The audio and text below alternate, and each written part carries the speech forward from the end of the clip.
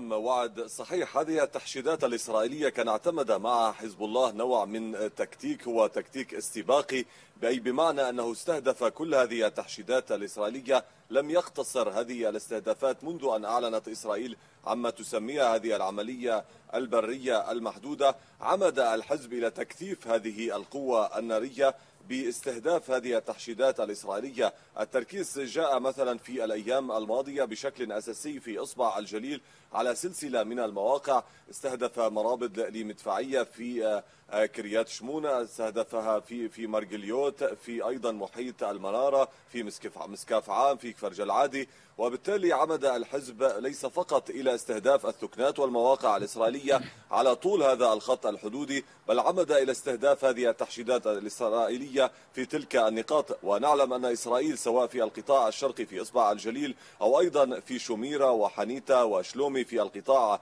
الغربي في قبالة القطاع الغربي في الجليل الغربي عمدت إلى إعلان تلك المناطق مناطق عسكرية ومناطق عمليات عسكرية.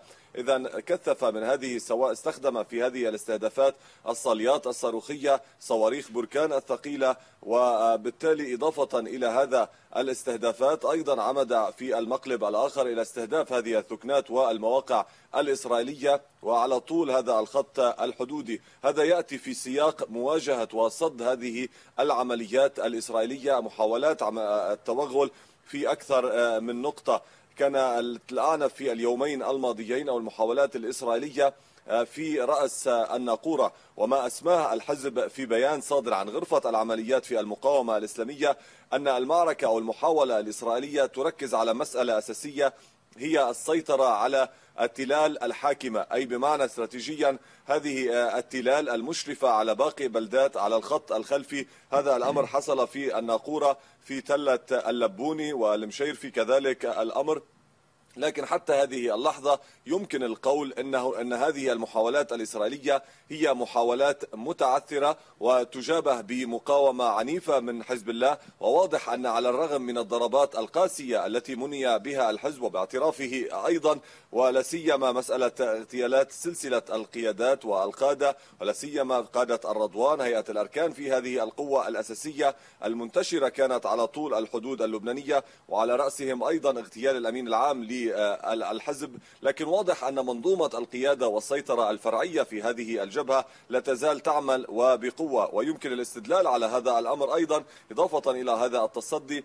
مسألة إطلاقات الصواريخ والمدايات الجديدة. نتحدث أن قوس هذا هذه الاستهدافات في الشمال لم يعد يقتصر على المستعمرات في الجليل الأعلى بل أصبح بعمق ووصولا إلى حيفا التي أصبحت مدرجة على جدول نيران الحزب بشكل شبه يومي. بالأمس كان هناك استهداف للقاعدة 7200 وأيضا مسألة استهداف زوفولون وأيضا غرب حيفا. وبالتالي واضح أن هذه المديات الجغرافية الدقة من خلال هذه الإطلاقات. واضح أن القدرات العسكرية لحزب الله على طول هذا الخط الحدودي لا تزال تعمل وبشكل قوي وبالغ الأثر.